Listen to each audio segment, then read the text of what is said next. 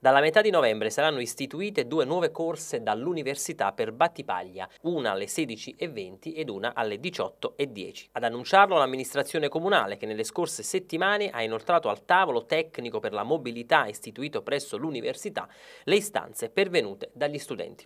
Una buona notizia per gli universitari battipagliesi che dalla metà di novembre potranno contare su due corse in più per tornare a casa.